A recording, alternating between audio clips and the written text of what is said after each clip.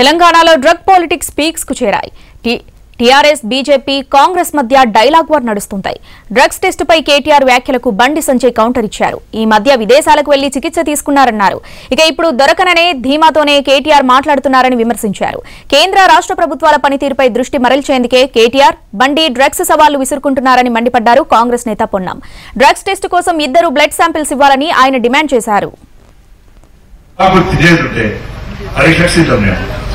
నా liver కోసమంటే liver పోషిస్తా. నా kidney కోసమంటే kidney పోషిస్తా. నా గుండె కోసమంటే గుండె కోసిస్తా నా- బాడీలో ఏ పార్ట్ అయినా కోసిస్తా పక్కా పోషిస్తా. నేనేమనంటే నువ్వు రా. డాక్టర్ దగ్గరికి నువ్వు రా. నువ్వు వచ్చి రెండు ఎంటికలు వీకి అని చెప్పిన. రెండు ఎన్నికలు డాక్టర్ దగ్గర వచ్చి నీ రెండు ఎంటికలు వీకి నా మాత్రం నేను నువ్వు డ్రగ్స్ తీసుకోవడం తీసుకోవడం ప్రూవ్ చేస్తా.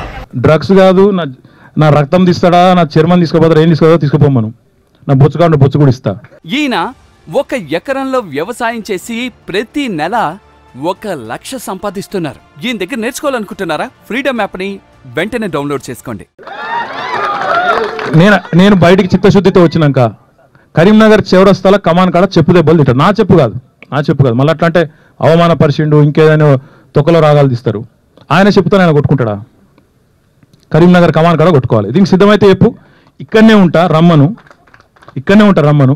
ఏ డాక్టర్ని తీసుకొస్తాడో ఏ గుళ్ళు కొట్టడానికి తీసుకొస్తాడో తీసుకురమ్మను. నా బొచ్చిస్తా నా రక్తం ఇస్తా నా గోర్లు ఇస్తామని బుంద ఏం కావాలంటే అది తన కిడ్నీ ఇవ్వండి కిడ్నీ కూడా దొంగల పడ్డారని కుక్కలు మురిగినట్టు నేను ఎప్పుడు ఛాలెంజ్ చేసినా కాంగ్రెస్ పార్టీ అధ్యక్షుడు ఎప్పుడు ఛాలెంజ్ చేసిండు. నువ్వు ఎప్పుడు స్పందించినావు? అమెరికా అనేది దేశం పోయిండు దేశం పోయి అన్ని ట్రీట్మెంట్ చేసుకున్నాడు. దాని తగ్గట్టు. ఆధార పోయి అక్కడ పోయి ట్రీట్మెంట్ చేయించుకొని అన్ని చేయించుకొని వచ్చి ఇప్పుడు మేకపోతే గాంభీర్యం ఏ నాకు ఏం లేదు తెలుసుకో కిడ్నీ ఇస్తా అని పాడిపోయిన కిడ్నీ మాకెందుకు కావాలి? ఆ రోజు రావాలి ఆ రోజు ఏం చేయాలి? ధైర్యంగా పోవాలి. పోయి నీ ఎంటికలు పీకిస్తావా ఇంకేం పీకిస్తావు? పీకిచ్చి ఇస్తే బయటపడుతుంది. మీ ప్రభుత్వాల పనితీరు మీద ఏం జరుగుతుందో ఆలోచన చేయండి. ప్రభుత్వ వైఫల్యాల దృష్టి మరల్చడానికి వాడు కార్య కార్యం పోషిస్తారట వాడు కిడ్నీ పోషిస్తారట ఎవరికి కావాలి? నిజంగా కూడా ఒకవేళ రెండు ప్రభుత్వాలకు చిత్తశుద్ధి ఉంటే ఆ డ్రగ్స్ కేసు విచారణ జరగాలంటే ఇద్దరు కూడా రక్త పరీక్ష కోరి ఇప్పటికే పిసిసి అధ్యక్షుడు ఒకసారి వైట్ ఛాలెంజ్ చేసి ఈయన ఒక ఎకరంలో వ్యవసాయం చేసి ప్రతి నెల ఒక లక్ష సంపాదిస్తున్నారు. ఈయన దగ్గర నేర్చుకోవాలనుకుంటున్నారా? ఫ్రీడమ్ యాప్ని వెంటనే డౌన్లోడ్ చేసుకోండి.